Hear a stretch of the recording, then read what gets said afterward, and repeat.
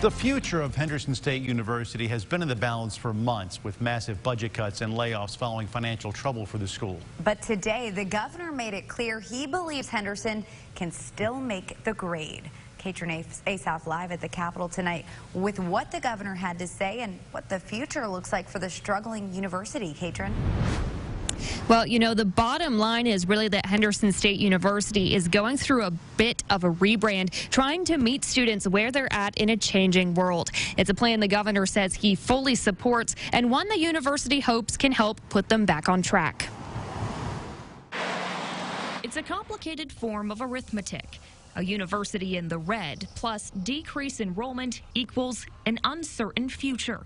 But now, thank you for uh, joining us today. University and state leaders believe it's a problem they can solve. Today, I wanted to express my full confidence, uh, my support, and excitement about the future of Henderson State University. After a trend of budget cuts and layoffs, Henderson State University is looking to evolve.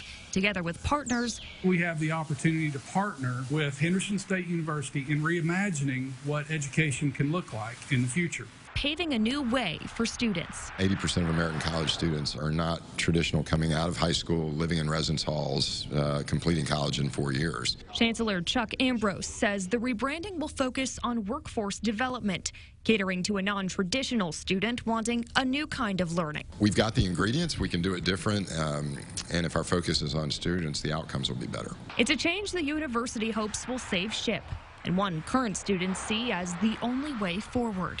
I'm, you know, willing to adjust for change. Robert Dunham is preparing to graduate, hoping to use his football experience for a new career. He's been through the school's financial woes and stayed put for one reason. The people that around you that support you don't just leave it. It's because of things changing around you. A focus on students that Ambrose hopes will become Henderson's brand. So the next math problem can be Henderson plus Arkansas equals success.